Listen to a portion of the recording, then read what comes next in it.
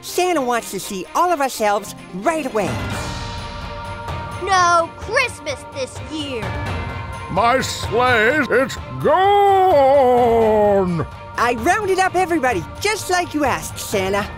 I propose a new Elfland detective agency run by none other than us. Huh? What was that? Relax, Tingle. You creatures think you're funny, is that it? I'm not willing to give up my favorite holiday without a fight. And it's a fight you'll get, Shorty. Ah, come on, guys. We only have minutes to get Santa on his way delivering gifts before the sun rises and the kids wake up. All right! Elf Detective Agency to the rescue!